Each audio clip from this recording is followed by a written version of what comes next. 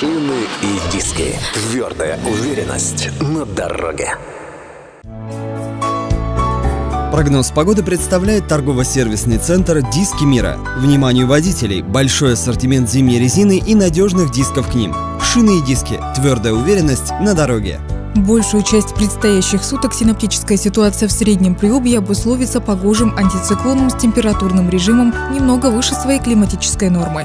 И только к вечеру скажется влияние теплого атмосферного фронта с запада, откуда потянутся поля облачности, постепенно переходящей в снеговое состояние. Салон мехов Греция. Неизменно для вас. Все самое лучшее. Стиль, дизайн, безупречное лекало от итальянских и греческих мастеров. Роскошная коллекция шуб из меха норки, пальто из каракульчи, стильные жилетки из меха лисы и норки, итальянские пуховики. Салон мехов Греция. Идеальное соотношение цены и качества. Город Сургут, Университетская 7, Ленина 16.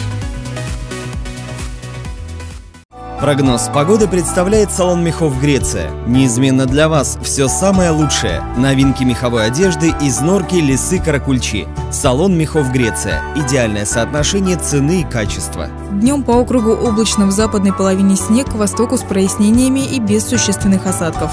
Температура воздуха от минус 11 на востоке до плюс 1 градуса на юго-западе. В Сургуте и окрестностях облачно с прояснениями. Вечером возможен небольшой снег, ветер южный 3,8 метров в секунду. Температура воздуха минус 1,4 в окрестностях города 0,5.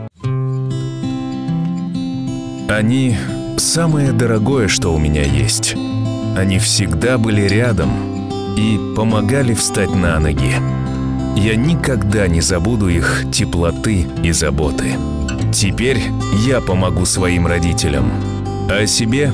О себе я уже подумал. Негосударственный пенсионный фонд «Сургутнефтегаз». Узнайте больше прямо сейчас. 8 800 214 29. Прогноз погоды представляет негосударственный пенсионный фонд «Сургутнефтегаз». Надежный фонд для вашей семьи. Узнайте больше прямо сейчас. Звонок бесплатный 8 800 214 29. 1 ноября солнечная активность и геомагнитное поле спокойные. Атмосферное давление будет расти и составит 770 мм ртутного столба.